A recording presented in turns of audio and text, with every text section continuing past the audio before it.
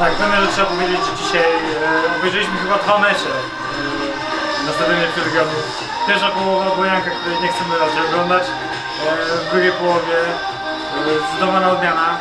Że coś No tak, tak, tak. No widać było zdecydowaną różnicę, że mm, w pierwszej połowie nie weszliśmy dobrze, e, dobrze w mecz, ale, ale skorygowaliśmy to natychmiast i, i, i w przerwie i, i druga połowa zupełnie odmienna.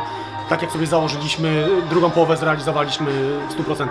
Trzeba też oddać rywalom, że weszli w ten mecz Bardzo trudny przeciwnik. e, Trudno nam, no, no mówię to, no, to bardziej przeciwnik spowodował to, że, że trudno nam się grało w, w pierwszej połowie. Teraz czeka nas e, ciekawy mecz za tydzień, bo obie drużyny, które nie straciły jeszcze punktu, e, mecz w Radomiu, e, jak trener No tak, tak, no na pewno trudny przeciwnik. Czeka nas tydzień pracy i, i w niedzielę będziemy walczyć.